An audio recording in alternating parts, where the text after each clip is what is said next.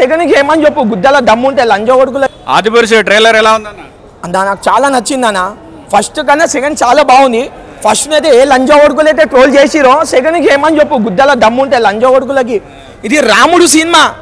రాముని గెటప్ రావాలంటే ప్రభాస్కి నీ తప్ప ఏ హీరోకి సెట్ కాదు. ఎందుకంటే అప్పట్లో నాగేశ్వరరావు ఎన్టీ రామారావు కృష్ణంరాజు మా పెద్దనాయన చాలా మంది చేశారు. కానీ చిరంజీవి నాగార్జునకు సెట్ కాలే. ఆ దేవుడి అవతారం ఎత్తాలంటే మళ్ళా ప్రభాస్కే వచ్చింది అదృష్టం. ఇప్పుడు టీజర్ చూసి ట్రోల్ చేసిన వాళ్ళకి ట్రైలర్తో చెక్ పెట్టిండ? ఒకటే ఒకటే మాట చెప్తున్నా. ట్రోల్ చేస్తే కాదా లంచ కొడుకులకి? కింద నంబర్లు పెట్టమంటున్నా లంచ కొడుకులకి. ఇంత మంచి సినిమాని ట్రోల్ చేస్తే మాత్రం గుద్ద వాళ్ళదే ఇంకా. సినిమాకి ట్రోల్ చేసే ఛాన్సే లేదు. సినిమా మొత్తం కంప్లీట్ బాగుంది. రామాయణం ఎట్లుందో అట్లా చూపించిండు డైరెక్షన్ చాలా బాగుంది. సినిమా అయితే అద్భుతంగా ఉంది. కొంతమంది రాముడికి మీసాలు ఉంటాయి అది ఇది అని ట్రోల్ చేస్తారు. అన్న ఇప్పుడు రామునికి మీసాలు ఉంటాయి మనకు కూడా మీసాలు ఉంటాయి హనుమంతునికి మీసాలు ఉంటాయి అంటే అయిపోతారా? ఇప్పుడు రామునికి రియల్గా మన లెక్క మనిషి అయినా కూడా దేవుడు అని మనం క్రియేట్ చేసినాం రాముని ఒక మాటల.